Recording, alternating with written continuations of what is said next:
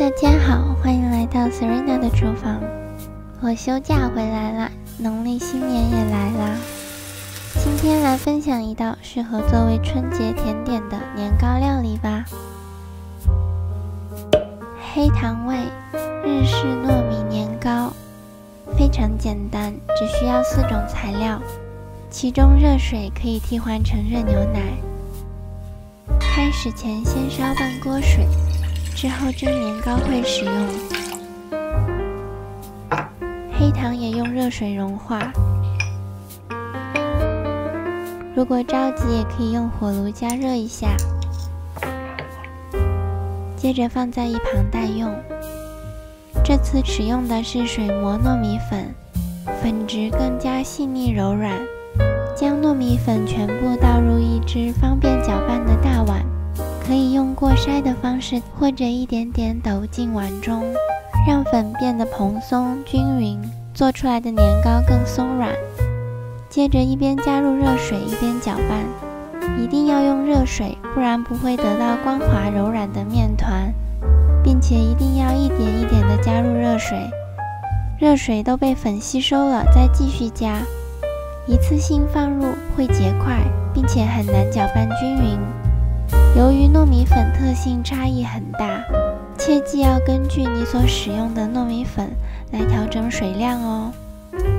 等看见面团基本都吸收了水分。就可以开始翻拌，这一步也可以用手哦。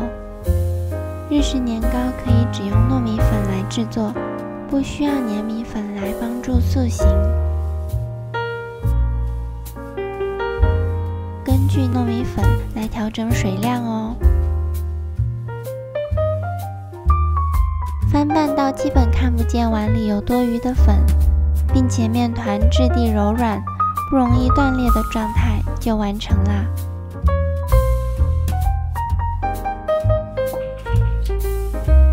现在将双手洗干净，将面团放在案板上此时的面团应该是柔软、不粘手、不断裂，并且有一定的延展性。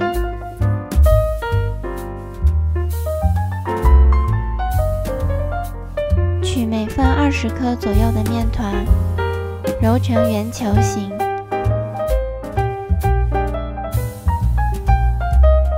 稍稍按扁，然后塑形成小方块状就好啦。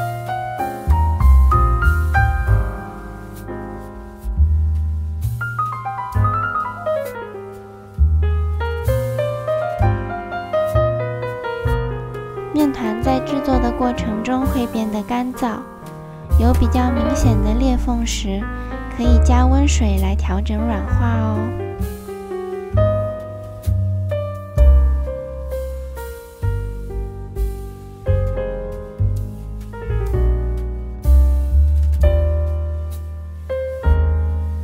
做好的方块面团放在一旁，用湿润的厨房纸或者纱布遮盖来保湿。这时候锅里的水也烧开了，将黄油用微波炉加热三十秒，准备好蒸架以及防粘的烘焙纸，烘焙纸可以稍微剪成合适的大小，在烘焙纸表面涂一层薄薄的黄油，可以更进一步防粘。开水下锅，中高火蒸三分钟即可。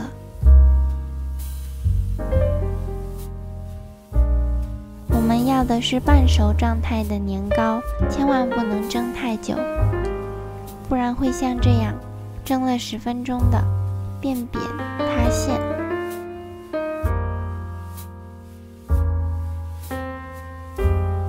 这时候准备一只平底锅，用中小火预热，刷上一点黄油，因为黄油很容易变焦，一定一定要用小火煎制。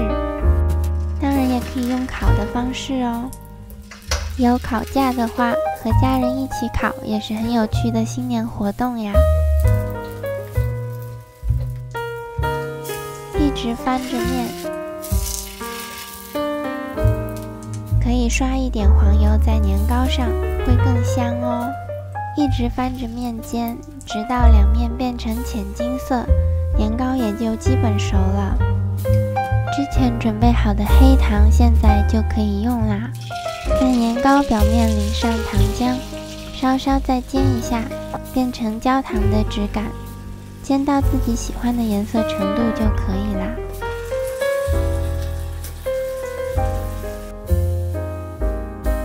软软糯糯的日式糯米年糕就做好啦。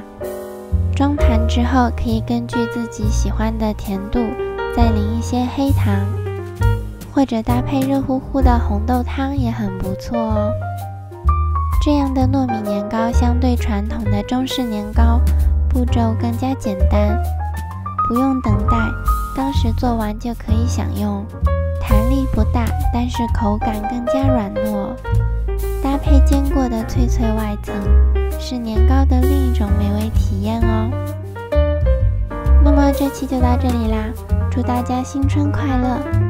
希望你们喜欢这次的分享，可以的话，请帮我按个喜欢和订阅哦，也可以开启小铃铛，获得最新影片提醒。我们下期再见，谢谢支持。